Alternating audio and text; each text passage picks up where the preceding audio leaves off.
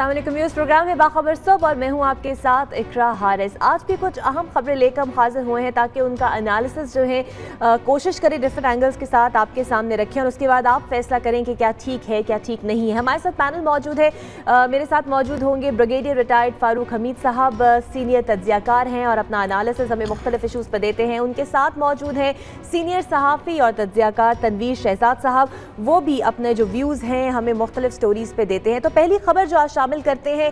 ہم اپنے مختلف پروگرامز نے ایک بہت ہی ہاٹ ڈسکشن اور ہاٹ کے ایک ڈیبیٹ جو بنی ہوئی ہے، وہ ہے نیب کا ایشو جو اب نیب کے حوالے سے خبریں آ رہی ہیں کہ حکومت اور نیب جو ہے، وہ تصادم کے موڑ پر ہے۔ ہم نے آپ کو اس سے پہلے بھی بتایا تھا کہ حکومت تیاری کر رہی ہے کہ نیب کے پر کاٹ دیے جائے۔ اور اب اختیارات کم کرنے کے لیے حکومتی مشاورت شروع ہو چکی ہے۔ اور اس کی وجہ یہ ہے کہ نیب کچھ بڑی حکومتی شخصیات پہ ہاتھ ڈالنے والا ہے، جس پہ وزیر اعظم میاں نواز شریف کے کچھ قریبی ساتھیوں کے نام بھی ہیں۔ اور کہا یہ جا رہا ہے کہ وزیر اعظم میاں نواز شریف جو ہیں وہ اپنے قریبی ساتھیوں کو بچانے کے لیے کسی بھی حد تک جائیں گے۔ تنویر شہزاد صاحب نیب اور حکومت ہم نے پہلے بھی ڈسکس کیا ایک تصادم کی صورتحال آئینی راہ اختیار کی جا رہی ہے کہ اس کے اختیارات کم کر دیے جائیں۔ اگر جمہوری حکومت یہ کر دے گی تو پھر معاملات کیسے چلیں گے؟ دیکھیے اقرا اللہ خیر کرے اسلام آباد سے خبریں جو آ رہی ہیں وہ بڑی عجیب و غریب ہیں۔ اچھا۔ دو امپورٹنٹ میٹنگز ہوئی ہیں اسلام آباد کے اندر۔ ایک حکومتی حلقوں میں میٹنگ ہوئی ہے جس میں پاکستان کے ٹاپ کے جو لیگل ایکسپرٹ تھے وہ شریک ہوئے۔ انہوں نے نیب کے لیے جو نئی قانون سازی کی جانی ہے اس کے مختلف آپشنز جو ہیں ان کو ڈسکس کیا گیا۔ اس میٹنگ کے اندر وزیر قانون کی طرف سے دوسرے لوگوں کی طرف سے یہ رپورٹ بھی دی گئی کہ پاکستان پیپلز پارٹی کے ساتھ جو بیک چینل ڈپلومیسی چل رہی تھی نیب کے اختیارات کو ریشنلائز کرنے کے حوالے سے وہ کامیاب ہوئی ہے اور اس کے اوپر ہم دیکھ سکتے ہیں کہ اب یا کمیشن بنے گا اعلیٰ اختیاراتی، سپریم کورٹ کے کچھ ریٹائرڈ ججز کے نام بھی وہاں پہ ڈسکس ہوئے ہیں۔ تو بظاہر ہم دیکھ رہے تھے خبریں کم ہوئی ہیں، تو شاید ایکٹیوٹی کم ہوگی ہوگی، لیکن در پردہ اس میں یہ ہے۔ دوسری میٹنگ جو ہوئی ہے، وہ نیب کے اندر ہے۔ نیب کے اندر جو اعلیٰ سطحی اجلاس ہوا، اس کے اندر ٹیرر فائنانسنگ کی بات تو نہیں بلکہ عام فائنانسنگ کی طرف بات آتی ہے۔ نیب کو یہ کہا میسیج دیا گیا ہے کہ اکتوبر نومبر تک آپ اپنی تحقیقات مکمل کریں۔ ایک درجن کے قریب وفاقی وزراء ایسے ہیں جن کے خلاف تحقیقات۔ میرے پاس یہ لسٹ آئی ہے۔ رانا مشہود خواجہ سعد رفیق خواجہ آصف ریاض پیرزادہ حنیف عباسی شاہد خاقان عباسی بہت سے کیسز ہیں۔ ان کے اوپر نیب خاموشی سے تحقیقات جاری رکھے ہوئے جو میگا اسکینڈل تھا سپریم کورٹ کے اندر نیب نے دیا تھا اس کے اوپر بھی تیزی سے پیش رفت ہو رہی ہے۔ اب اس صورتحال میں اگرچہ قانون کے دائرے میں رہتے ہوئے حکومت بچنے کی کوشش تو کرے گی لیکن مجھے لگتا ہے کہ کہیں حالات تصادم کی طرف نہ چلے جائیں۔ جی فاروق امید صاحب آپ کو بھی یہی لگتا ہے کہ اب نون لیگ کو یہی نام کھٹک رہے ہیں؟ بسم اللہ الرحمن الرحیم بہت شکریہ۔ پہلی بات تو یہ ہے کہ تنویر صاحب نے تقریباً صحیح بات کی ہے۔ میں دیکھ رہا ہوں کہ بلکہ وہ جو تصادم اور شو ڈاؤن ہے وہ شروع ہو چکا ہے۔ اور میں امید کرتا ہوں کہ پرائم منسٹر آف پاکستان کے پاس وہ اپنے اچھے قابل کمپیٹنٹ آلٹرنیٹیو ان کے پاس اویلیبل ہوں گے کہ اگر ان کی کچن کیبنٹ ان کی فیملی کیبنٹ کے لوگ ہیں ان میں سے چند لوگ بڑے بڑے بھاری نام جو ہیں اگر وہ پکڑ لیے جاتے ہیں تو پھر کم از کم حکومت انہوں نے چلانی نا تو وہ آئی ہوپ کہ ان میں آلٹرنیٹ ارینجمنٹس وہ کر رہے ہیں۔ دوسری بات یہ ہے میری جو اپنی انفارمیشن ہے میری جو اپنی انسسمنٹ ہے صورتحال کی وہ یہ ہے کہ دیکھیں اگر لوگ یہ سمجھ رہے ہیں نا کہ جنرل راحیل شریف کے ریٹائرمنٹ کے بعد یہ معاملات ٹھنڈے ہو جائیں گے اور we will be back to square one یہ وہ لوگ ہیں انگریزی میں کہتے ہیں you living in fools paradise یہ نہیں ہونے لگا۔ کیونکہ مجھے یہ بتایا جا رہا ہے مجھے یہ پتہ لگ رہا ہے کہ جو جنرل رحیل شریف کے بعد آنے والی بھی لوگ ہیں وہ اس سے بھی زیادہ دو ہاتھ آگے ہیں۔ انہوں نے چھوڑنا نہیں ہے۔ یہ فیصلہ ہو گیا۔ دوسری چیز یہ ہے کہ دیکھیں اگر ایسا کوئی قانون سازی کی جاتی ہے جس میں، یہ کلیئر ہو جاتا ہے کہ جناب کچھ لوگوں کو پروٹیکٹ کرنے کی کوشش کی جا رہی ہے، بچانے کی کوشش کی جا رہی ہے، تو دیکھیں اس وقت حالات کے پاکستان کے عوام کا موڈ ہے وہ پرائم منسٹر صاحب سینس کر لیں کہ پاکستان کے عوام بڑی روتھلیس اکاؤنٹیبلٹی ہے، وہ جو مانتے ہیں۔ تو مجھے تو یہ لگ رہا ہے کہ اگر اس قسم کا ایک میلافائڈ طریقے سے کمیشن بنانے کی کوشش کی گئی کہ نیب کو ٹوتھلس کر دیں، مجھے تو ڈر یہ ہے۔ تنویر صاحب، ایک ہوتا ہے الیکشن اکاؤنٹیبلٹی میں، مانتا ہوں آپ کی بات۔ وہ الیکشن اگلے دو ہزار اٹھارہ میں ہونے لیکن ایک ہے جو اداروں کی اسٹیٹ کی اکاؤنٹیبلٹی ہے اگر قانون کے دائرے میں رہتے ہوئے جی۔ حکومت کوئی کرتی ہے تو آپ کو کیا اعتراض ہے؟ لیکن ہماری تاریخ کو اس بات کی گواہ ہے کہ چھوٹی چھوٹی غلطیاں حکومت کو لے بیٹھتی ہیں۔ جی دیکھیں نا یہی آپ کی بات صحیح ہے کہ اس طرح کا اگر یہ بلنڈر کریں گے تو کوئی اپنی مصیبت لینے کے دینے نہ پڑ جائے۔ اقرا سوال یہ ہے جی، کہ کیا احتساب کی نگرانی سیولین حکومت نے کرنی یا اسٹیبلشمنٹ نے کرنی ہے؟ میری بات۔ دیکھیں ہم سب پاکستانی عوام چاہتے ہیں جمہوریت پاکستان میں چلے۔ پاکستان کے عوام کا جمہوریت میں کانفیڈنس اور ٹرسٹ اسی وقت بحال ہوگا جبکہ وہ دیکھیں گے کہ جمہوری دور میں بڑی سخت قسم کا اکراس دا بورڈ جو احتساب ہوا۔ ہم تو چاہتے ہیں جمہوریت سٹرونگ ہو اور یہی ایک طریقہ ہے۔ اگر آپ احتساب نہیں ہونے دیں گے میں تو بلکہ بیوروکریسی ڈری ہوئی ہے فائلیں رکی ہوئی ہیں۔ اچھی بات ہے۔ ستر فیصد بجٹ استعمال نہیں ہوا۔ آپ کس طرح جمہوریت میں کس طرح ٹرسٹ آئے گا بیوروکریسی کی انہوں نے بات کی ہم نے پرسوں بھی بات کی تھی۔ میں یہاں پہ یہ بات واضح کرنا چاہتا ہوں کہ ہماری بیوروکریسی میں بڑے بڑے ایماندار لوگ موجود ہیں۔ جی۔ صرف یہ کہ وہ بچارے ڈرے ہوئے ہیں کہ اگر ہم نے صحیح بات کر دی سچ بات کر دی فائل پہ صحیح چیز لکھ دی قانون کے مطابق تو یہ ہمیں وکٹمائز نہ کیا جائے۔ تو میرا میسج ہے ان بیوروکریٹس کو کہ آپ اپنی جگہ ڈٹ رہے بالکل لیکن لیکن وہی والی بات کہ اب فیصلہ یہ کرنا ہے کہ عوام یہ دیکھیں گے کہ اگر اتنی ہی جمہوری حکومت ہے اتنی خود مختار حکومت ہے تو آخر اس خود مختار حکومت کو نیب کے اوپر جو ان کے پر کاٹنے کی تیاریاں ہو رہی ہیں ان کا رول محدود کرنے کی تیاریاں ہو رہی ہیں یہ کرنے کی کیا ضرورت ہے؟ فری اینڈ فیئر جو کھیل ہے اسے کھیلنے دیں نیب کو اور مفت پیٹرول مل رہا ہے اور اس کی مبارکباد خود دی ہے وفاقی وزیر پیٹرولیم شاہد حقان عباسی نے۔ یہ بہت ہی دل دہلا دینا بیان ہے جو انہوں نے دیا ہے۔ وہ کہتے ہیں کہ جو پیسے لیے جا رہے ہیں عوام سے اضافی وہ تو ٹیکس کی مد میں لیے جا رہے ہیں لیکن جو پیٹرول ہے وہ تو سستا ہی ہے۔ تنویر شہزاد صاحب یہ کہاں سے ملتا ہے اتنا سستا پیٹرول؟ مجھے تو نہیں ملتا۔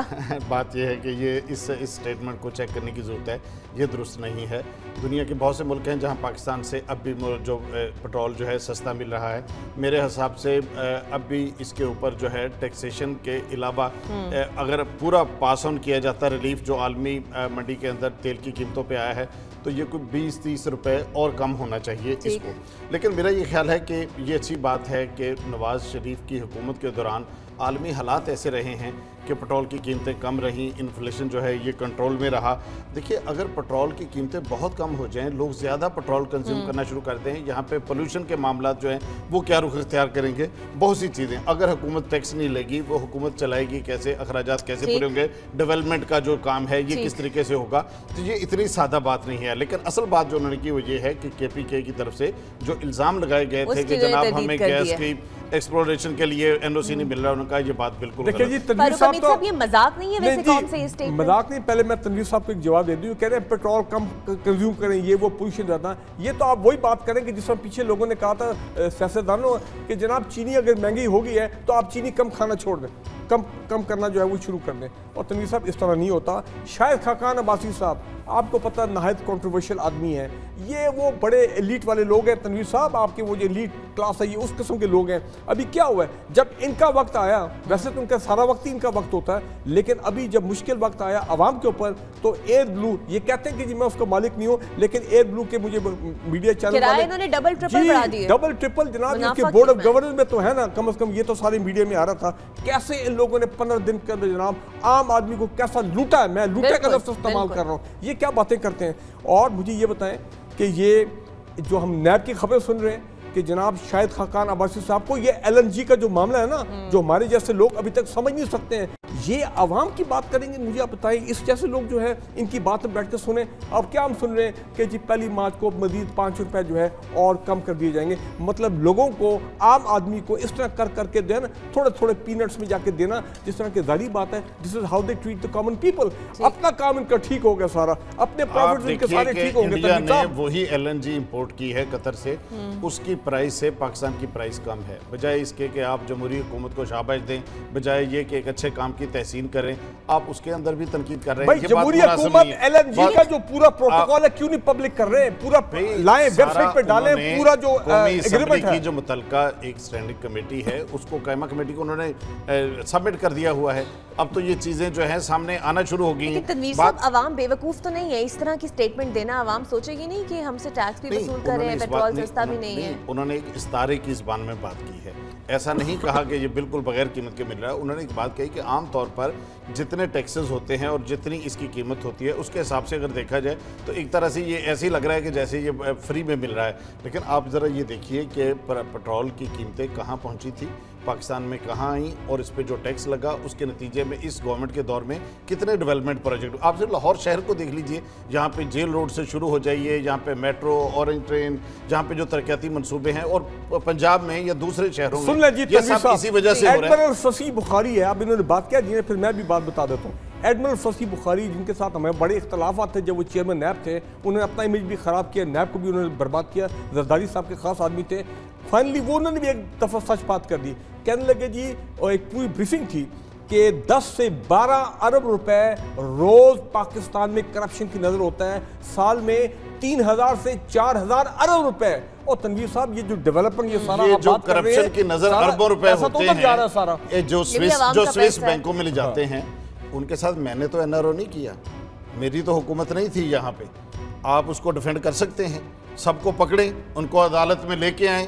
اور جو کہ وہ ہاں، جمہوری ہو غیر جمہوری ہو اس کو کریں ان کو کریں۔ اب جب ان کو پکڑتے ہیں تو آپ کہتے نہیں جی یہ تو سارا یہ تو الزام ہے یہ تو سارا ڈرامہ ہے۔ این آر او دینے والوں کو پکڑنے کی بات کر رہا ہوں۔ والے تو پرانی بات ہوگی نا اب آج کی بات کریں نا آج کی بات کیا پرانے قوم کے پیسے نہیں تھے؟ کیا پرانے پیسے جو ہیں وہ درختوں سے اتارے ہوئے تھے؟ وہ جو ارب روپے تھے انہوں نے این آر او یوز کیا لیکن آپ تو کہتے ہیں کہ سوا ارب روپیہ سوا ارب روپے کا دانی سکول کی کیا کرپشن ہے؟ آپ تو یہ بات کر رہے ہیں۔ میں تو آپ کو کہہ رہا ہوں کہ بجائے کسی کی ریڑھ کی ہڈی میں درد ہو کسی کے پاؤں میں درد ہو اس کو بلائیں اور کہیں کہ بھائی آپ نے این آر او کیوں دیا اور اس کو ریورس کریں۔ اب آپ کو ایک اور نیب کی کاروائی یہ بتائیں کہ پاکستان پیپلز پارٹی کے کچھ ایسے رہنما جن کے پیچھے پہلے ہی نیب اور رینجرز اور جو بھی ان کے خلاف مقدمات بنے ہیں اور پاکستان پیپلز پارٹی کافی تنقید کا نشانہ بھی بنتی رہی ہے اور اب باری ہے محترمہ فرزادہ راجہ کی۔ بے نظیر انکم سپورٹ پروگرام جو ہے جو شروع کیا گیا تھا اس کی سابق چیئر پرسن یہ تھی اور مبینہ کرپشن کے خلاف اب نیب نے تحقیقات کا آغاز کیا ہے۔ اشتہارات میں غبن کروڑ روپے کا یہ معاملہ ہے ساتھ ہی ساتھ غیر قانونی بھرتیوں کے بھی سلسلے میں اور یہ بھی کہا جا رہا ہے کہ فرزانہ راجہ کو وطن واپس بھی لایا جائے گا۔ فاروق تنویر صاحب پیپلز پارٹی کا تو پیچھا نہیں چھوٹ رہا۔ دیکھ پیپل پارٹی نے جو اپنے پانچ سال میں جو کیا ہے نا یہ میرے خیال اگلے دس پندرہ سال تک یہ ان کو چلتا رہے گا ان کا معاملہ چلتا رہے گا۔ دیکھیں ہم اپنے پروگرام میں کئی دفعہ ہم نے کہا ہے کہ آڈیٹر جنرل آف پاکستان نے بھی آبزرویشن دی ہیں۔ انہوں نے پوائنٹ آؤٹ کیا ہے کہ بڑے پیمانے پر بے نظیر انکم سپورٹ پروگرام میں غبن بھی ہوئے ہیں امبیزلمنٹ بھی ہوئی ہے مسیوز اتھارٹی بھی ہوئی ہے بہت گڑبڑ ہوئی ہے۔ پتہ نہیں لوگوں تک وہ سارا پیسہ پہنچا ہے یا نہیں۔ وہ بلکہ کہتے ہیں بیچ میں مڈل مین آگے تو انہوں نے بہت گڑبڑ کی ہے یہ فردانہ راجہ صاحبہ جب اس کی۔ ہم بلکہ یہ پوچھتے رہے پچھلے دو تین سال سے کہ بھی فردانہ راجہ صاحب سین سے غائب ہو گئی ہیں۔ ملک چھوڑ کے چلے گی کہاں چلے گی ہوا یہ تھا کہ وہ جیسی گورنمنٹ چینج ان کو پتہ تھا کہ اب یہ گڑبڑ ہونے والی ہے۔ وہ ملک سے فرار آپ کہیں ملک چھوڑ کے شی پارٹی سلپٹ ہوئے سنا ہے کہ کینیڈا چلے گی۔ اور بائی دا وے یہ فردانہ راجہ صاحب وہی ہیں۔ جس جس کو اپنا زرداری صاحب نے نوازا نا، نشان امتیاز حلال امتیاز، ان کو بھی حلال امتیاز ملا ہوا ہے۔ اب آپ مجھے یہ بتائیں میں تو آج بھی کہتا ہوں نواز شریف صاحب ایک اچھا کام کر دیں یا اگلی گورنمنٹ یہ کام کر دیں پیپل پارٹی کے دور میں جو ان تمام لوگوں کو یہ نشان امتیاز حلال امتیاز یہ خدا نے وڈرا کریں ان سیول ایوارڈ کو یہ ڈیزرو نہیں کرتے یہ ٹھیک کہہ رہے ہیں یہ بالکل صحیح کہہ رہے ہیں۔ یہ جو لگتا ہے ایسے ہاں میرا خیال ہے کہ جس کی ہاتھ جو آیا وہ لے اڑا عزت مآب سابق صدر پاکستان پرویز مشرف صاحب کے خلاف کاروائی بے شک نہ ہو۔ فرزانہ راجہ کے خلاف ہونی چاہیے کیونکہ کمزور ٹارگٹ ہے۔ کم از کم وہ میں تو موجود ہے وہ یہاں پر تو موجود ہے۔ بھئی میں کہہ رہا ہوں کہ پرویز مشرف صاحب جو فرزانہ راجہ ہوں دونوں کو عدالت میں آنا چاہیے۔ اگر ایک بندہ 54 پیشیوں میں نہیں آ رہا تو فرزانہ راجہ پہ اتنا دباؤ ڈالنے کی کیا ضرورت ہے؟ ملک میں تو موجود ہے۔ بات یہ ہے میرا پوائنٹ یہ ہے کہ پہلی بات یہ ہے کہ اشتہاروں میں غبن کیا گیا اور کہا گیا کہ غیر قانونی بھرتی۔ ابھی الزام صرف الزام ہے جب تک عدالت فیصلہ نہ دے فرزانہ راجہ کو آپ اس طرح نہیں تنقید کا نشانہ بنا سکتے۔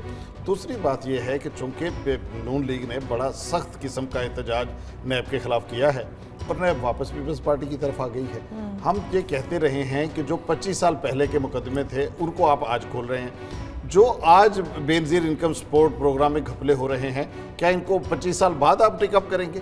اس بات کی کوئی تفتیش نہیں ہونی چاہیے کہ نیب اتنے سال فرزانہ راجہ کے ایشو پہ کہاں سوئی رہی ہے؟ کیوں انہوں نے غفلت کا مظاہرہ کیا؟ کیوں انہوں نے ٹک اپ نہیں کیا؟ بات یہ ہے جی کہ ایک انفلوئنشل طبقہ ہے۔ یہ اشتہاروں کے بارے میں ایک پالیسی بننی چاہیے۔ یہ اشتہار کیسے جائیں گے؟ سرکاری اشتہار کیا ذاتی شہرت کا ذریعہ بننے چاہیے نہیں بننے چاہیے؟ یہ جو غیر قانونی بھرتیاں ہیں یہ غیر قانونی بھرتیاں جو ہیں یہ ان کے اوپر ایک سیٹ رولز ہے کبھی تو شروع ہونا چاہیے صاحب کا۔ مطلب لیٹ ہی شروع ہوا ہوا تو دیکھیں بات یہ ہے تنویر صاحب یہ جو آپ بار بار کہہ رہے ہیں نا یہ پیپل پارٹی کو کیوں پکڑا جا رہا ہے؟ پی ایم ایل ایم کو کیوں نہیں؟ فلان کو کیوں نہیں؟ بھائی ہم اس مائنڈ سیٹ ہمیں یہ نہیں کہنا کہ کیونکہ یہ پی ٹی آئی کا ہے تو اس کو نہیں پکڑنے فلان ہم اس کو پروٹیسائز نہ کریں جو نیب نے لوگوں کے جی، جو نیب نے پکڑ دھکڑ کرنی ہے ہم یہ کہتے ہیں ارسپیکٹیو کہ کون آدمی ہو چاہے کسی بھی پارٹی کو یہ مت دیکھو اس کی پارٹی کیا ہے اس کا جرم دیکھو اس کا کرائم دیکھو اور اس کو اکراس تو بولتے ہیں فرزانہ راجہ صاحبہ جو ہیں وہ ایک پولیٹیشن ہیں۔ انہوں نے پاکستان پیپلز پارٹی کے لیے بڑا کام کیا۔ انہیں چاہیے کہ وہ آئیں اور اگر ان پر یہ الزام لگایا جا رہا ہے ان کے خلاف تحقیقات شروع ہو رہی ہیں تو بجائے یہ کہ انہیں پکڑ کر لایا جائے وہ خود قوم کے سامنے آئیں اور اس حوالے سے اپنا بیان اور موقف پیش کریں کہ آخر کیوں یہ بے ضابطگی اور کروڑ روپے کے گھپلے کی جو کرپشن ہوئی ہے یہ کیوں ہوئی کیسے ہوئی ان کے ہاتھ صاف ہے یا نہیں صاف وہ آئیں اور اس حوالے سے بات کریں۔ صدر پاکستان ممنون حسین کے دو ڈرائیورز کو حراست میں لے لیا گیا ہے اور محض شک کی بنیاد پر لیا گیا ہے۔ یہ کہا گیا ہے کہ دونوں کا تعلق کالدن تنظیم سے ہو سکتا ہے اور مزید تفتیش کرنے کے لیے انہیں نامعلوم مقام پر منتقل کر دیا گیا ہے۔ تنویر شہزاد صاحب آپ تک اس حوالے سے کیا اپڈیٹ اس حوالے سے پہنچی ہے؟ بات یہ ہے کہ پریزیڈنٹ آف پاکستان لاہور میں تھے یہاں موو کر رہے تھے. بعض اداروں نے یہ نوٹ کیا کہ گاڑی آستہ چلائی جا رہی ہے. کہیں ڈرائیور دانستہ یہ گاڑی آستہ تو نہیں چلا رہے ان کو حراست میں لے کے ان سے پوچھ گچھ کی جا رہی ہے. صدر ممنون حسین کی سیفٹی سیکورٹی کے بارے میں خاص خیال رکھا جا رہا ہے. ہم نے دیکھا ہے کہ ان کی فیملی کراچی سے آبان صدر موو کر گئی ہے. یہ بڑی امپورٹنٹ بات ہے۔ وی وی آئی پی شخصیات کی جو سیکیورٹی ہے اس کے بارے میں ایک تو انٹیلیجنس انویسٹیگیشن ان کی ویسے ہوتی ہیں ڈیوٹی لگانے سے پہلے۔ پنجاب یونیورسٹی کے نفسیات کے ڈپارٹمنٹ نے ان کی ذہن سازی کے لیے کچھ ایکسرسائزز بھی کی ہیں جس میں ان کو تربیت دی گئی۔ لیکن میں یہ سمجھتا ہوں کہ ایک ڈرائیور آٹھ آٹھ گھنٹے ڈیوٹی کرتا ہے کسی جگہ پہ۔ پھر اس کے بعد مسجد جاتا ہے دوستوں سے ملتا ہے رسالے پڑھتا ہے۔ سوسائٹی کا نیریٹو بدلنے کی ضرورت ہے تاکہ لوگ جو ہیں یہ انتہا پسندی کی طرف نہ جائیں۔ آپ دیکھیے کہ جنوبی پنجاب کا ایک علاقہ ہے۔ اس کے ایک لڑکے کو پکڑا گیا اس نے انکشاف کیا کہ ان کے علاقے کے ڈھائی سو لوگ لاہور کی اہم شخصیات کے ہاں کوئی خان سامہ کوئی چوکی دار کوئی دوسرا ہے۔ اگر جنوبی پنجاب کے اندر کوئی ایسے انتہا پسندی کے اثرات ہوں گے تو یہ منتقل ہوں گے بڑے شہروں کی طرف بھی۔ میرا خیال ہے کہ یہ جو نیریٹو بدلنے کی بات ہے اس کے اوپر بھی فوکس رہنا چاہیے اور باقی جو سیفٹی سیکیورٹی کے سٹینڈرز ہیں ان پہ بھی دھیان کرنا چاہیے۔ جی، جی، دیکھیں پہلی بات تو یہ ہے کہ چاہے پریزیڈنٹ آف پاکستان ہو چاہے پرائم منسٹر ہوں اور ہمارے جو بڑی جو ٹاپ کی ہمارے پبلک آفس ہولڈرز ہیں ان کی سیکیورٹی پہ اس پہ تو کمپرومائز سوال ہی نہیں پیدا ہوتا۔ اور یہ اسٹیٹ کی ذمہ داری ہے اسٹیٹ کے اداروں کی ذمہ داری ہے۔ اور یہ دیکھیں یہ جو سیکیورٹی کلیئرنس کا معاملہ ہوتا ہے کہ جو جو لوگ کسی بھی پریزیڈنسی میں ہیں پرائم منسٹر سیکریٹریٹ میں ہیں یا ان کے ساتھ منسلک ہیں مختلف چاہے وہ میں کہتا ہوں مالی کیوں نہیں ہے پریزیڈنسی کا؟ ٹھیک ہے نا جی؟ وہ چپراسی کیوں نہیں ہے؟ سب لوگ ایٹ آل لیول ان کے جو کلیئرنس کا سیکیورٹی کلیئرنس کا جو معاملہ ہے یہ کوئی ایک مرتبہ کا نہیں ہوتا۔ یہ دس از اے اور یہ نہیں ہو سکتا کہ آپ نے ایک دفعہ کر دیا جی۔ تو اس کے بعد آپ بھول جائیں کہ جی کیونکہ دو سال پہلے کلیئرنس ہم نے کی تھی تو اب یہ بندہ جو ہے یہ بالکل کلیئر ہے۔ تو یہ تو آن گوئنگ پروسیس ہے۔ اس کیس میں میں سمجھتا ہوں کہ کہیں نہ کہیں لیپس ہوا ہے کہ پریزیڈنٹ آف پاکستان کی موٹر کیڈ میں اگر لاہور میں اگر اس طرح کے دو سسپیکٹڈ ڈرائیورز ہیں تو یہ چیز ٹھیک ہے با وقت ان کو انفارمیشن ہوگی ہوگی کوئی لیکن یہ معاملے دب تک آنا نہیں چاہیے تھا ان کو پہلے ہی ان کو جو پریونٹیو سٹیپس جو ہیں وہ لینے چاہیے تھے۔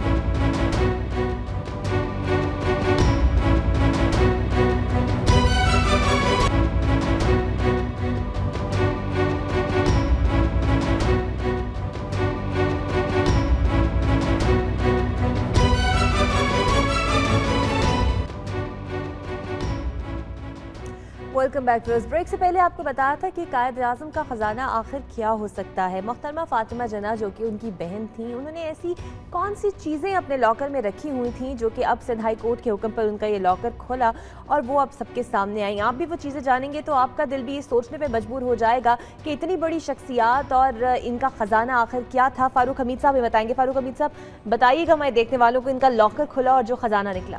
دیکھیں، پہلی بات تو ہم اس چیز کو سمجھنی چاہیے کہ قائد اعظم محمد علی جناح ایک امیر آدمی تھے۔ وہ اس طرح کہ ایماندار آدمی تھے انہوں نے محنت کے ساتھ وکالت کے ذریعے انہوں نے اپنا جو ہے جو بھی ان کے ایسٹس تھے وہ تو سب کو معلوم ہے لیکن آپ یہ دیکھیں کہ یہ جو محتمہ مادر ملت محتمہ فاطمہ جناح کا یہ جو لاکر جب کورٹ کے آرڈرز پہ ریسنٹلی کھولا گیا ہے کراچی کے ایک پرائیویٹ بینک میں اس لاکر سے کیا نکل رہا ہے؟ اس لاکر سے نکل رہا ہے پاکٹ واچز سگریٹ کیس ایک میڈل جس پہ کلمہ جو ہے وہ انسکرائب ہے. ایک روپے کا سکہ انیس سو ایک کا میگنیفائنگ گلاس قائد اعظم کے کف لنکس کچھ نئے اور کچھ ٹوٹے ہوئے کف لنکس بٹنز اور اس قسم کی چیزیں. اب آپ مجھے بتائیں یہ کیا چیزیں بتاتی ہیں؟ میں آپ کو ایک بات بتاؤں کہ اگر یہی موجودہ حکمرانوں کے یا جو بھی آپ کے اگر آپ ان کے لاکرز کھولیں ان کے اندر سے پتہ کیا نکلے گا؟ سونے کی اینٹیں ڈائمنڈ کے سیٹ جولری کے سیٹ ناد چیزیں یہ اپنا ہیرو اور جوارہ یہ چیزیں نکلیں گی بھی نہیں کیونکہ وہ اپنے ساتھ سے باہر رکھتے ہیں۔ چلے یہ بھی ہے وہاں ادھر بھی آپ کو پتا وہاں کیا نکلے what I'm trying to say یہ کیا شو کر رہا ہے کہ بانی پاکستان محمد علی جناح صاحب قائد اعظم اور اپنا محمد علی جناح اور مادر ملن یہ ان کی سوچ کیا تھی؟ انہوں نے اپنے لاکرز میں وہ چیزیں رکھی تھیں ان کی جن چیزوں کو وہ ویلیو کرتے تھے۔ اس میں میں نے آپ کو بتایا کہ یہ بڑی نوٹوں کی تھدیاں یہ چیزیں نہیں تھی ایک تو یہ سوچ ہے اور یہی یہی وہ لوگ ہیں جنہوں نے پاکستان بنایا اور یہی وہ لوگ ہیں جنہوں نے پاکستان کے لیے پھر آگے جا کے ہم لوگوں نے کیا کیا اس ملک کا حشر کیا کیا۔ میں صرف یہ کہنا چاہ رہا ہوں کہ یہ ایک لیسن ہے پاکستان کی لیڈرز کے لیے کہ پاکستان بنانے والے لوگوں کی سوچ کیا تھی؟ وہ ان کے لیول آف انٹیگریٹی ان کے لیول آف ایمانداری کیا تھی؟ اور ہم لوگ کیا کر رہے ہیں؟ انہوں نے جنہوں پاکستان بنایا ہم نے کیسے اپنے ہاتھوں سے پاکستان کو تباہ کی اور بگاڑا؟ دیکھیں فاروق صاحب میں آپ کو دو باتیں کہنا چاہتا ہوں۔ ایک تو میں پہلے کچھ آپ کو واقعہ سناتا ہوں۔ جب پاکستان بنا کابینہ کا پہلا اجلاس ہوا اور یہ وہ اجلاس تھا جس کیبنٹ کے اندر لیاقت علی خان بیٹھے ہوئے تھے سردار عبدالرب نشتر بیٹھے ہوئے تھے۔ تو وہاں پہ اسٹاف نے قائد اعظم کے کان میں آ کے پوچھا کہ سر چائے سرو کر دوں؟ سارے منسٹر بیٹھے ہوئے ہیں۔ انہوں نے کہا یہ گھر سے نہیں پی کے آئے کیا یہ سرکاری خزانے سے چائے پئیں گے؟ آپ یہ دیکھیے کہ اگر وہ آج کی کابینہ میں بیٹھے ہوتے تو شاید انہیں جواب ملتا کہ سارے اس ناشتہ بھی نہیں کر کے آئے۔ قائد اعظم کے بارے میں کہا جاتا ہے کہ ایک مرتبہ جا رہے تھے تو ان کے لیے خاص طور پہ ٹریفک روکی گئی اور ان کو جلدی سے گزارنے کی کوشش کی۔ انہوں نے اس کے اوپر ناگواری کا اظہار کیا۔ زیارت کے اندر بیمار تھے تو جو برگیڈیئر نور، جو جو کہ کیپٹن نور تھے ان دنوں، ان کو کیپٹن نور حسین کو کہنے لگے کہنے لگے، نور، مجھے بہت ٹھنڈ لگ رہی ہے۔ انہوں نے کہا کہ ان کا میرے پاؤں جو ہے نا وہ سرد ہو گئے ہیں۔ وہ بازار گئے اور بازار سے جا کے ڈیڑھ روپے کی وہ لے کے آئے ہیں جرابیں ان کا کتنے کی آئی ہیں؟ ان کا ڈیڑھ روپے کی۔ اس نے کہا نہیں، پاکستانی خزانہ جو ہے اس کے لیے متحمل نہیں ہو سکتا، میں اس کو نہیں پہنوں گا۔ اس فہانی صاحب پاکستان کے سفیر تھے امریکہ میں پہلے۔ انہوں نے قائد اعظم سے رابطہ کیا اور کہا کہ میں چاہتا ہوں کہ آپ کو واپس پاکستان آتا ہوں، میں امریکہ لے کے جاتا ہوں، آپ کا علاج کراتے ہیں۔ انہوں نے کہا میں سرکاری اخراجات کے ساتھ امریکہ جا کر علاج کرانا پسند نہیں کرتا۔ آج دیکھیں لائنیں لگی ہوئی ہیں کسی کو سر میں درد ہوتا ہے تو وہ پسند کرتا ہے کہ اپنا میڈیکل چیپ کر لے جو کہ جائے فلان جائے۔ میں یہ کہتا ہوں کہ ایک بات تو یہ ہے کہ آج قائد کو یاد کرنے کی بڑی ضرورت ہے۔ آج قائد کی تعلیمات کو عام کرنے کی بڑی ضرورت ہے۔ سیاستدانوں کو بچوں کو معاشرے کے سارے لوگوں کو بتانے کی ضرورت ہے کہ بابا قوم کس طرح کے تھے۔ لیکن دوسری بات جو فاروق صاحب کی ہے اس سے میں اگری نہیں کرتا۔ دیکھیے ہمیں سویپنگ سٹیٹمنٹ نہیں دینی چاہیے۔ معاشرے میں اب بھی اچھے لوگ موجود ہیں۔ میں ایک ایسے فیڈرل سیکٹری کو جانتا ہوں جو مہینے کے اخراجات کر کے جتنے پیسے بچتے ہیں وہ سارے اللہ کی راہ میں دے دیتا ہے۔ وہ کہتا ہے کہ میرے نبی کریم صلی اللہ علیہ وسلم جو تھے وہ صاحب نصاب نہیں تھے۔ میں بھی چاہتا ہوں کہ میں صاحب نصاب نہ ہوں میرے پاس کوئی پیسہ نہ ہو۔ آپ کی بات مانتا ہوں۔ دیکھیں میں نیب میں رہ کے میں نے دو تین کیسز میں جانتا ہوں اور میں شیئر کرنا چاہتا ہوں۔ لوگ سمجھ جائیں گے میں کن کا نام لے رہا ہوں۔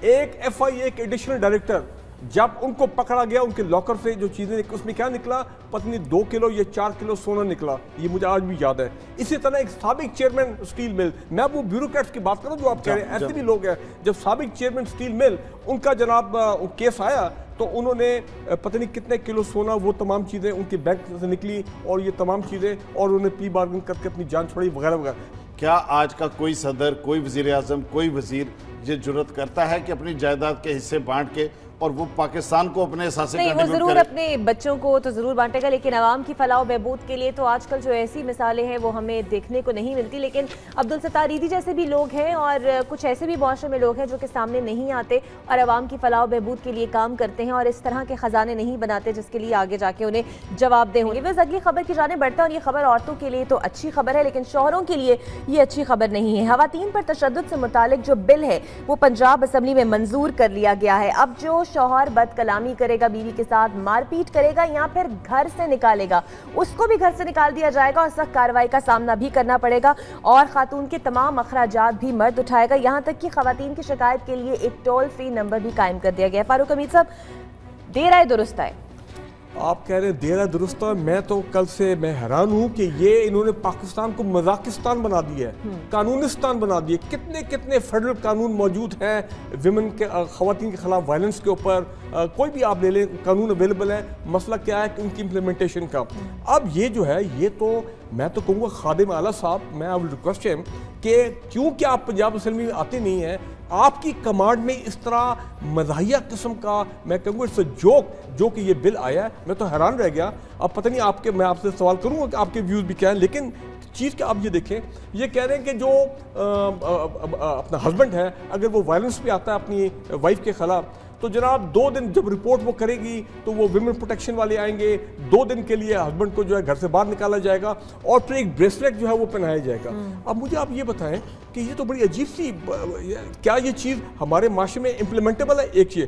دوسری چیز یہ کہ وہ تمام ہمارے جو معاشرے میں جو ہسبینڈز ہیں، جن کی تین تین چار چار نارمل لیگل وائفز ہیں کتنی سیکرٹ وائفز ہیں ان کے وہ کتنے بریسلٹ پہنیں گے نمبر تین یہ ہے مجھے کوئی یہ بتائیے جو بریسلٹ ہے بھائی یہ قانون میں چھوڑ گئے کہ یہ سونے کا بریسلٹ ہوگا سلور کا بریسلٹ ہوگا اس کے اوپر ایک جی پی ایس لگا ہوگا اس کا مطلب یہ کہ وائف ٹریک کریں گی کہ ہسبینڈ جو ہے وہ کدھر جا رہا ہے اس کے لوکیٹر لگا ہوا ہے سو میں سمجھتا ہوں یہ انہوں نے مذاق اڑایا ہے میں ذاتی طور پہ سپورٹ کرتا ہوں میں ان کیمپین میں شامل ہوں۔ خواتین کے خلاف جو وائلنس ہے جو خواتین پہ ایسڈ پھینکا جاتا ہے مجھے اب یہ میں ذرا آپ کی میں معافی چاہوں گا آپ کی ہاں۔ بات کاٹنے کی جی۔ لیکن میں شدید پروٹیسٹ کرتا ہوں۔ میں بہت احتجاج ہوں۔ مجھے دکھ ہوا ہے کہ فاروق صاحب نے اس بل کو جو ہے تھوڑا سا اس کو ایک لائٹر سائٹ پہ دیکھنے کی کوشش کی ہے۔ یہ بات غلط ہے۔ میں بتاؤں۔ دیکھیے پاکستان کے اندر خواتین جو ہیں ہم تو لاہور میں بیٹھ کے بات کر رہے ہیں۔ کمر مشانی میں کیا ہے؟ لیا میں کیا ہے؟ بنو میں کیا صورتحال ہے؟ خواتین کی پروٹیکشن کا کوئی نظام نہیں ہے۔ لاہور کی بات کر لیں چاہے ہاں۔ پڑھی لکھی خاتون ہو یا جاہے لوگ انہیں گھر سے باہر نکال دیتے ہیں۔ بھئی پنجاب اسمبلی کی بات کیجیے۔ خواتین کو کتنا بولنے دیا جاتا ہے؟ کتنے فنڈز دیے جاتے ہیں؟ کتنی حکومت کی پالیسیوں میں خواتین کو حصہ لینے دیا جاتا ہے؟ آٹھ ہزار خواتین مار دی گئیں دو ہزار پندرہ میں تشدد کر کے۔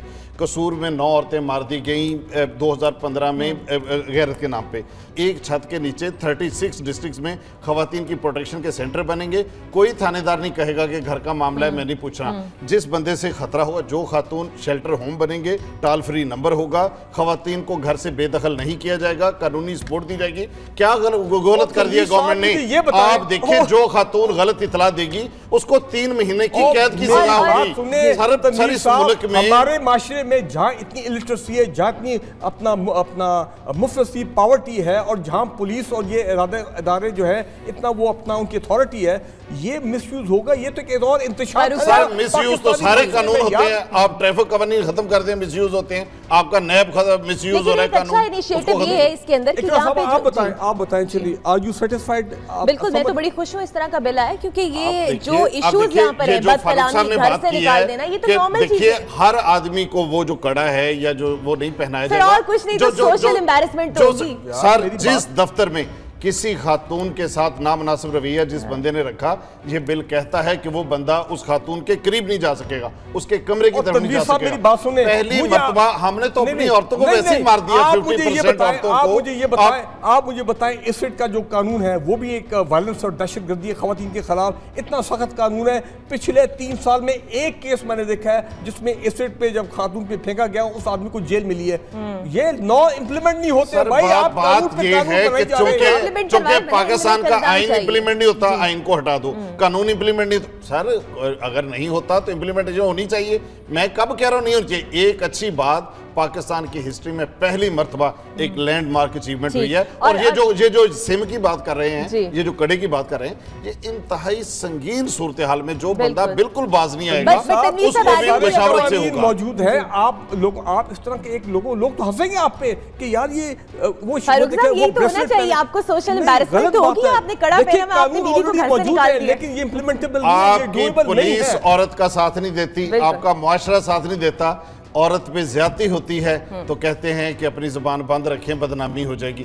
یعنی رپورٹ تک نہیں ہوتے کہ جو ظلم اس ملک میں ہو رہا ہے کوئی بندہ اس کو رپورٹ نہیں کرتا یہ قانون منظور کیا گیا جی۔ لیکن یہ اچھا ایک قانون ہے اسے منظور کیا گیا ہے کیونکہ جو عورتیں ان کا شکار ہیں اب وہ ہیلپ لائن پہ کال کریں اگر انہیں گھر سے نکالا گیا ہے وہ تب کال کریں۔ اور کچھ نہیں فاروق صاحب تو سوشل امبیرسمنٹ وہ کڑا پہننے سے ضرور نہیں تو پھر آپ مجھے یہ بھی سوال کے جواب دے دیں یہیں پہ کہ ایسے کیسز میں جہاں پہ جو خواتین ہیں وہ اپنے ہسبینڈ پہ جو ہاتھ اٹھاتی ہیں اب ہم نے کیا سٹوری اس پہ بھی ہونا چاہیے عمران خان عمران خان ویام خان والا میں آپ کو اگزامپل دے رہا ہوں۔ تو پھر بتاؤں اس وقت کڑا کون وہ ایکسیپشن ہوگی ورنہ مرد مار نہیں کھاتے۔ میل ڈومیننٹ سوسائٹی ہے جی کون بندہ مار کھاتا ہے؟ مار نہیں کھاتے۔ ملک میں پچھلے سالوں میں جتنی دہشت گردی کی کارروائیاں ہوئی ہیں کچھ بھی تھوڑا بہت ہو جائے یا کہیں سے آواز آ جائے تو ڈرنا تو ایک معمول کی بات ہے۔ لیکن جو ہمارے سیاستدان ہیں جو ہمارے وزراء ہیں وہ بھی ڈر جاتے ہیں اور اس کا ہم نے مثال کل یہ دیکھی کہ جب شرمین عبید چنوئی کی فلم کی سکریننگ ہو رہی تھی وزیر اعظم آفس میں تو وزیر اعظم میاں نواز شریف خطاب کرنے لگے تو ایک ٹھک کی آواز آئی اور ایک دم وہ ڈر گئے، بلکہ وہ کیا ڈر گئے؟ وہاں پہ موجود جتنے بھی لوگ تھے وہی ڈر گئے، فاروق صاحب۔ یعنی کوئی انسان وزیر اعظم وہ بھی ڈر جاتا ہے۔ ویسے میں آپ کو بتاؤں، ایک منٹ کے لیے میں بھی ڈر گیا تھا۔ میں تو سمجھا کہ نظر آ رہا تھا کہ اس ٹھک سے ہوئے ان کے دل دھک دھک۔ ٹھیک ہے نا جی؟ بات یہ ہے کہ میں اس وقت سوچ رہا تھا کہ what is the prime minister of Pakistan thinking وہ، انہوں نے اس آدھے منٹ میں کیا سوچا ہوگا؟ ان کے ذہن میں آئے گا کہ یہ تو یہ جو ٹھک جو ہوا ہے یہ کسی بڑے بروٹ کی آواز ہے۔ ان کے ذہن میں آیا ہوا کہ یہ کوئی دروازہ کھلے گا کچھ اور تو نہیں ہو جائے گا۔ یا میری بات ٹھک ہوا تھا نائنٹی نائن میں بھی ٹھک ہوا تھا۔ پھر انہوں نے ان کے ذہن میں آیا دیکھیں نا دو ہزار چودہ میں کیا ہوا تھا کہ حالات جب وہاں پہ خراب ہوئے تو فوج نے ان کو اینڈ میں بچا لیا۔ جنرل رحیل شریف نے کہ یہ تو سارے اسلام آباد چھوڑ کے چلے گئے تھے۔ ان کو پتا تھا کہ بس آج رات کو کچھ ہو جائے گا۔ تو یہ ایک سینس آف انسیکیورٹی ہے یہ ایک سینس آف فیئر ہے جو ہمیں حکمرانوں میں نظر آ رہی ہے۔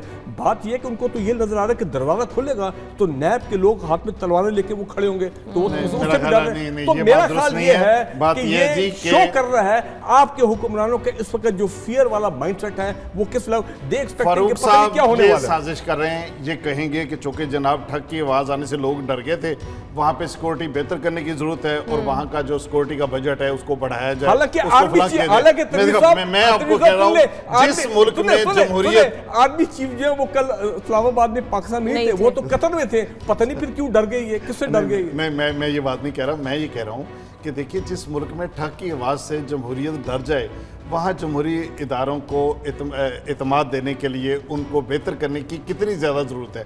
آپ دیکھیے کہ وہاں پہ میں نے ان کی شکلیں دیکھی ہیں انوش رحمان جس طرح سے ڈری ہیں وہاں پہ فواد حسن فواد ان کے چہرے کے جو تاثرات تھے۔ بھئی اگر تو وہاں پہ کوئی بلب بھی پھٹا ہے تو کم از کم وہ اس کی کوالٹی کا اندازہ اچھا، کر لے کہ وہاں کیا؟ ہے؟ اچھا ابھی تک حکومت وہ نہیں بات سامنے آ رہی۔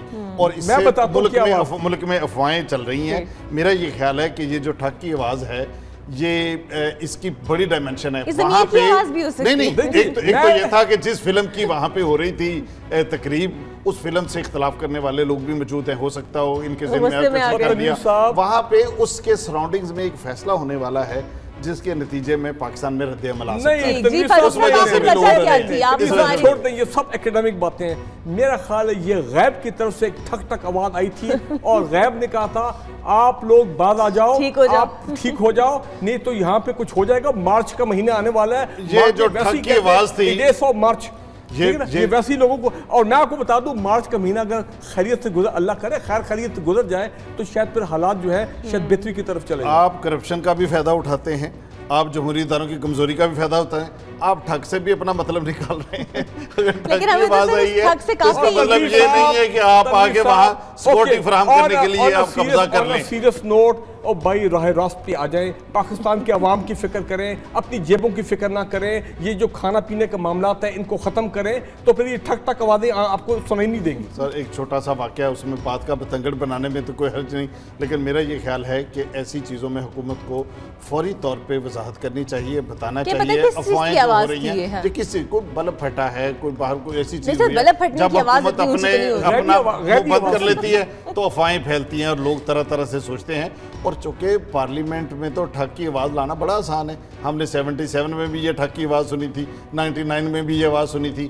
اب بھی اگر دھرنا جو ہے وہ پارلیمنٹ میں جماعتیں کٹھی نہ ہو جاتی ایک مرتبہ پھر ٹھک ہو جانا تھا پارلیمنٹ اس کے اندر۔ میں کہہ رہا ہوں تو فوج بچا گئی تو اچھا فاروق صاحب انہوں نے پوچھا تو ہوگا اس کے بعد اپنے سٹاف سے کہ آخر آواز کس چیز کی؟ پوچھا تو ہوگا اور آئی ایم شور اس میں کوئی انٹرنل انکوائری بھی انہوں نے آرڈر کی ہوگی کہ جناب یہ پیچھے کوئی اس میں چکر کیا ہے کہ بات باہر کیوں نہیں آ رہی؟ ہو سکتا ہے اس میں جو آپ کے ایئر کنڈیشننگ سسٹم ہے اس میں کوئی پرابلم ہوا ہو یا آپ کے الیکٹرکل سسٹم میں کوئی پرابلم ہوا کہیں چھوٹی موٹی کوئی سیلنڈر تو ہوتے نہیں وزیر اعظم ہاؤس میں جو پھٹ جائے۔ لیکن بہرحال یہ کہ ایک آپ یہ دیکھیں یہ ذرا پتہ کرا لیں کہ یہ جو وزیر اعظم ہاؤس میں جس طرف سے ٹھک والی آواز آئی ہے یہ آپارا والی سائڈ تو نہیں تھی یہی تو فیئر آف یہ تو سینس آف انسیکیورٹی ہے کہ ذرا ٹھک ہوتی ہے تو وہ کہتے ہیں آپارا سے آواز آ رہی ہے یہ ادھر سے آواز آ رہی ہے راول پنڈی سے آواز آ رہی ہے اوپر سے آواز آ رہی ہے غیب کی طرف سے انویسٹیگیشن ہونی چاہیے۔ اس کا مطلب یہ ہے مجھے لگتا ہے فاروق صاحب ہم نے اتنی انٹرپریٹیشن دے دی ہے ٹھک کی آواز کی کہ وزیر اعظم کو خود آ کے اس پہ دیکھیں جی اگر وزیر اعظم ہاؤس میں لوگ ٹھک کی آواز سے ڈرتے ہیں تو اس کا مطلب ہے کہ ابھی تک صحیح کمر نہیں ٹوٹی۔ دہشت گردی کے خلاف مزید ہمیں کام کرنے کی ضرورت ہے۔ تاکہ بے فکر ہو کے وزیر اعظم ہاؤس میں تو لوگ اگر آپ کے لیے پاکستان کے لیے خلوص نہیں ہے نیک نیتی نہیں ہے تو پھر ٹھک ٹھک ہر روز آپ کو ہر وقت تنگ کرتے اگر جمہوریت کے اوپر یقین نہیں ہے پھر بھی ٹھک کی آواز آ بہت شکریہ تنویر شہزاد صاحب فاروق امید صاحب۔ تو ہم نے اس ٹھک ٹھک کی آواز کی اتنی انٹرپریٹیشن دے دی ہے کہ اب مجھے لگتا ہے کہ وزیر اعظم کو خود اس حوالے سے آ کے وضاحت دینا پڑے گی کہ آخر وہ آواز کس چیز کی تھی اور عوام کو بھی اس حوالے سے بتانا پڑے گا۔ بہت شکریہ آج کے لیے اتنا ہی۔ ہمارے ہمیں اپنے فیڈ بیک سے آگاہ کیجیے گا۔ ہمارا فیس بک اور ٹویٹر ہینڈل ہے باخبر صبح. ہمیں آپ کی آرا کا انتظار رہے گا. اللہ حافظ.